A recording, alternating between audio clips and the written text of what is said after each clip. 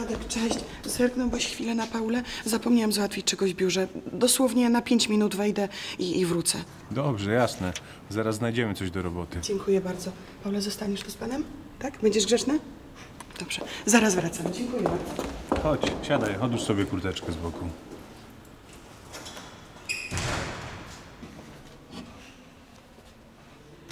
Kiedy mama wróci? Powinno zająć jej to tylko chwilkę. Zaraz wróci. Dobranoc. Dobranoc, dobranoc. Dobranoc. Pan tu tak siedzi całą noc? Niestety, ale mogło być gorzej. I ja bym się zanudziła. Powiem ci, że to też ma swoje dobre strony. Mogę poczytać. Szkoda, że nie ma pan tu telewizora. Pokazać ci coś fajnego?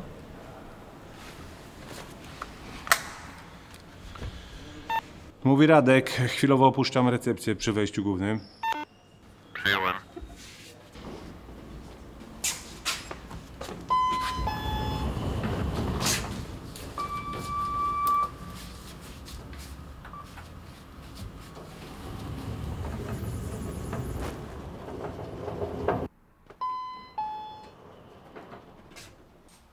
Wow, widać całe miasto. Może nie całe, ale sporą jego część. Robi wrażenie, co? Jest super. Myśli pan, że można się o nią oprzeć? Nie pęknie? Wytrzyma. Tym mostem zawsze jedziemy z mamą do szkoły. Ale oświetlony jest coraz ładniejszy niż w dzień. To prawda. Chyba widzę swój blok. Tam, na prawo. A pan widzi swój? Mój jest ten niedaleko katedry, ten najwyższy, ale ja mieszkam na parterze. Swoją szkołę też widzę. Tam. Całkiem ją lubię. To jest szkoła numer 4? Tak, skąd pan wie? Moja córka tam chodzi. To pan ma dzieci? Miałem. Mam. Mam córkę Melę. Chodzę do klasy z jedną mylą, ale jej tato pił i już nie mieszka z tatą. To pan? Nikt w tej rodzinie nie myślał. Nikt nie myślał, może ja też bym czegoś potrzebował, co? A ta Mela z twojej klasy ma rudawe włosy? No tak, ruda i ma długie włosy. Pan jest jej tatą? Tak. A może mówiła ci coś o tacie? To zabieraj szmaty i się wynoś, będę miał święty kurwa sport. No my się aż tak nie przyjaźnimy. Raz słyszałam, że pani wychowawczyni ją pytała, czy ją bije. Nigdy bym jej nie uderzył. Mela odpowiadała to samo. Przykro mi, że płakała, wiesz?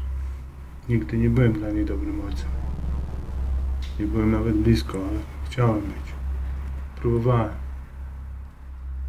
Co pan mówi? Według mnie jest pan fajny. Cieszę się jednak. Ona, Mela, raczej pamięta mnie innego. Niech Mela wie, jaka jest jej matka, jaka jest bezczelna. To ja utrzymuję tę rodzinę, a nie ty. Gdyby nie ja, to byście pod mostem wylądowała, a one pewnie wyrosłaby na ciebie. Zamknij się! Modlę się, żeby nie wyrosła na ciebie, rozumiesz, człowieku? Mam cię dość, nie mogę cię znieść w tym stanie. Może mogłabyś jej coś przekazać w szkole? Przecież dobrze pan wie, gdzie jest moja szkoła. Może pan sam przyjść nawet jutro. Zaczynamy o dziewiątej. Tak, tak. Może przyjdę, ale gdybym jednak nie dał rady, przekaż jej proszę, że tęsknię, że żałuję. Jeśli pan nie przyjdzie, to jej przekażę. Mój tato też pił.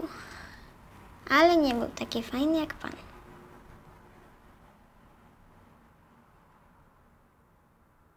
Halo Radek, Y, pani Gosia szuka córki, jest przy recepcji. Wygląda na to, że twoja mama już skończyła. Chodź, idziemy.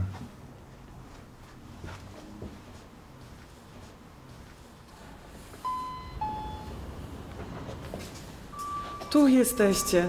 A ja was szukam i szukam. Chodź, Paula, zakładaj kurteczkę.